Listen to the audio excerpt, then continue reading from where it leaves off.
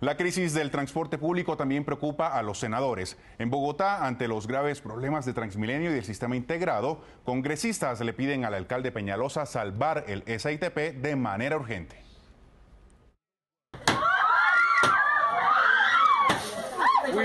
El sistema de transporte público de Bogotá vive semanas complicadas, crecen las protestas en Transmilenio y las quejas en el CIP por las fallas en el servicio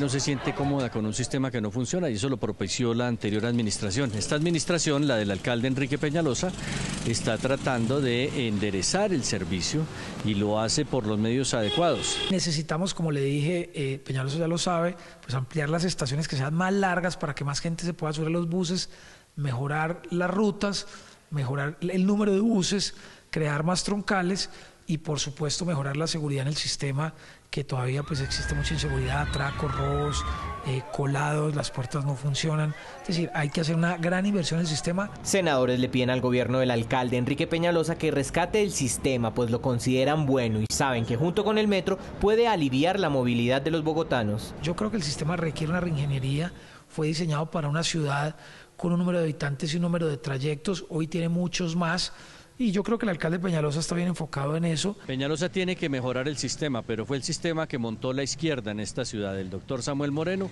y que acabó de colapsar el eh, alcalde Gustavo Petro. Ahora lo más importante es recuperar el buen funcionamiento del sistema integrado de transporte público y lograr que la ciudadanía viaje rápido, cómodamente y con un servicio de calidad.